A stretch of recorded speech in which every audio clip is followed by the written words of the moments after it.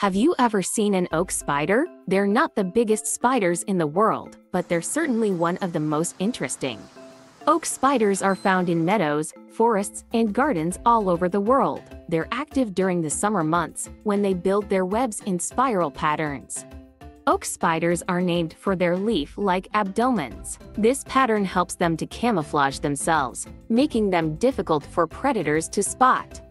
Oak spiders are predators, and they eat small insects like flies, mosquitoes, and moths. They're not harmful to humans, but their bite can be painful. Oak spiders are fascinating creatures, and they're a welcome sight in any garden. If you're lucky enough to see one, be sure to take a closer look.